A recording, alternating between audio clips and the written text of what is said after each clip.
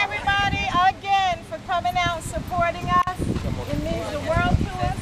And we're just here to help anybody that needs assistance with dating, domestic violence, or any situation. We have the resources for you. If you know a friend, refer your friend. We have so many people, volunteers, survivors that can help you through the process. Okay? So I want to thank Dr. Nicole for filling in for Reverend Reggie today. Actually, I passed it on.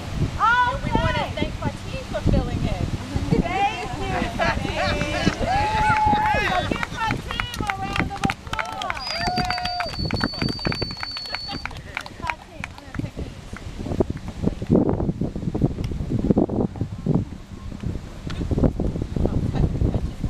Okay, so after the prayer, we're going to release the balloons in memory of our loved ones. All right, each you um, touching agreements. Either touch someone's hand, their shoulder. Just connect. It's all about connection here.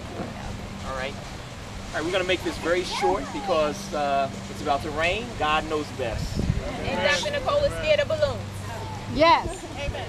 Surely, with the name of God, the beneficent, the merciful, praise be to our great Lord, the, the cherisher and sustainer of all this great world. Surely today is a great day, dear Lord. You have blessed us to come together, to come together as men and women, as your children, to support us in this great, great movement. You have given us the information, the knowledge, and the way to the road of healing. You have given us the way to a great salvation of self, a great salvation of you, and a great salvation of brother and sisterhood.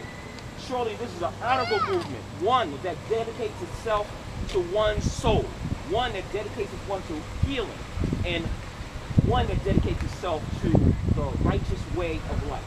Surely violence is not the way.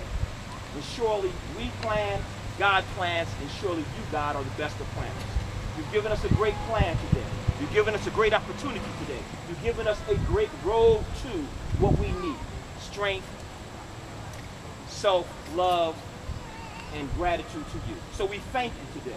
We thank you for the souls that are here. We thank you for the light that you've given us. We thank you for a greater opportunity. And with that, we give you the honor and the praise.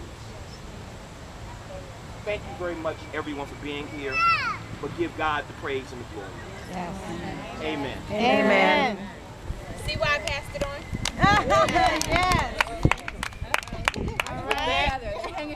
All With that, we will let our balloons flow to God's grace up in the heavens as He has it on earth.